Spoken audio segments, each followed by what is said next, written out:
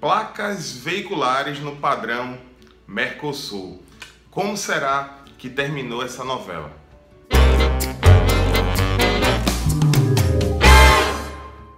Olá, eu sou o professor Carlão, muito bem-vindo ao Manual do Trânsito. Se você já é inscrito aqui no canal, já vai deixando aí o like, porque o YouTube entende que você gosta do conteúdo, além de ajudar a recomendar para outras pessoas.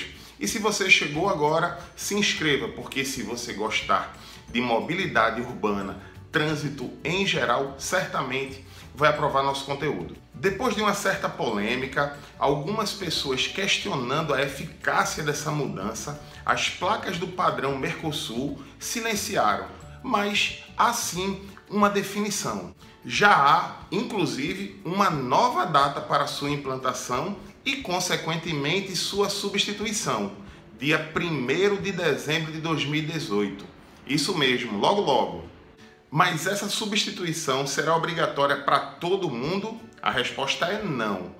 Essa data é a data limite para que os órgãos implementem a substituição, mas apenas para veículos novos, ou seja, aqueles que vão ser registrados, emplacados pela primeira vez, quando forem transferidos de município, quando for transferida sua propriedade, ou seja, vendi para outra pessoa, ou nos casos em que a recomendação seja a de substituir as placas. Por exemplo, quando a gente perde num alagamento, por exemplo, a nossa placa e tiver que substituí-la, já terá que ser no novo padrão. E nos demais casos, quando deverá ser substituída para todas as pessoas de uma forma geral?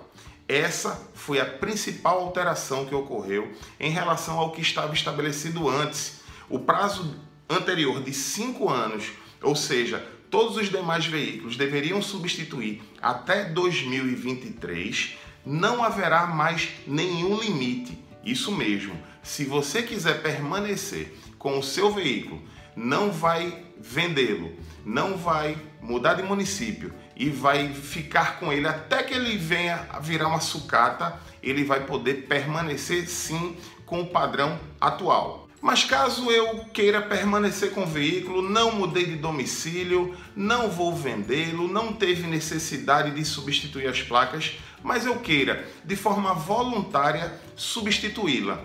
É possível? A resposta é sim. Voluntariamente, qualquer pessoa poderá substituir se assim desejar. Aliás, particularmente acredito que boa parte das pessoas vão ir nesse caminho. Afinal de contas, é uma placa bonita, moderna e muitas pessoas tendem, pelo menos eu acredito nisso, a substituí-la para entrar na onda, para entrar na modernidade. O que você acha?